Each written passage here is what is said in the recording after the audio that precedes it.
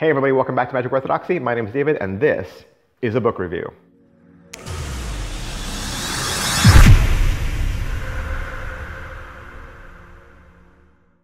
Hey, today we're going to look at 202 Methods of Forcing from Theo Annemann. Uh, what this is, it's exactly like it sounds. It's a book on card forcing, okay, and 202. Uh, 202 different methods. Uh, Theo Annemann, if you don't know, is mastermind of magic, has been around for a long time. Most of the classic books uh, contain at least one or two of his tricks. Uh, this book you can find currently on Amazon or from your favorite magic retailer. As you can see, the book is really a booklet, very much a pamphlet. And so I think it's easily around the $6 range. It's, it's under $10. It's a very affordable book. All right, so why should you have this book in your library? Well, for one, it's a classic of magic. Number two, it's Theo Annemann. Uh, number three, a lot of other books refer to it, or a lot of videos refer to it. They'll say, as you see in 202 Methods of Forcing. Um, so that would be a, a, big reason. Another reason would be just to, as a resource to go to and draw inspiration from. Sometimes uh, when you're putting a trick together, creating your own trick, or you're doing multiple tricks back to back, you don't want to do the same force over and over again on the same spectator because they'll start to catch wise. Like, why do you keep doing that same force? Like maybe you want to mix it up and show that you know more than just the riffle force, right? So getting this as a resource, 202 methods of forcing, uh, would help you with that. Now, that said, you have to understand that with 202 methods of forcing, they're not all winners, okay? Far from it. They're not all go-tos. They're not all the best.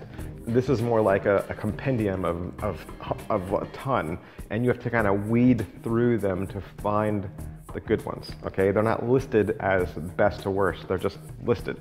And so you have to do a lot of reading uh, to find those good ones. And so if reading isn't your thing, if you don't like books, eh, maybe you might not like this. The other uh, negative or the other downside to this is this has not been rewritten in 2016 vocabulary, okay? This, if it, this is gonna read a lot like Shakespeare or uh, the King James Bible, okay? And that doesn't mean that there's these and thous and the King's English in this, okay? But it's definitely a more archaic form of writing.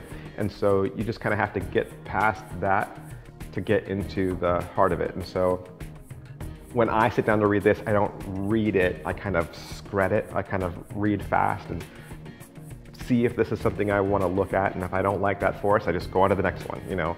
Some of these forces are really outside the box, like stick all the cards in a paper bag and shake them up. Like they're, they're like that, okay? So they're not all just straightforward fanning or spreading or riffling down the deck.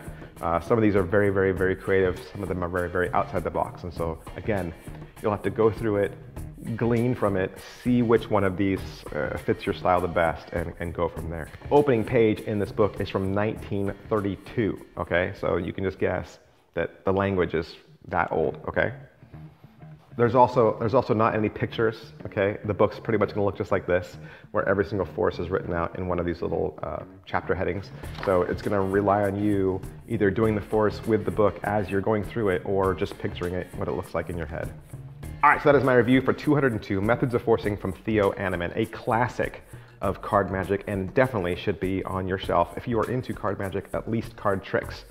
As always, we recommend that you like this video just so other people can find it faster. We also recommend that you subscribe to this channel just to stay up to date on the latest in cards and card magic. If you want to follow me on social media, you can.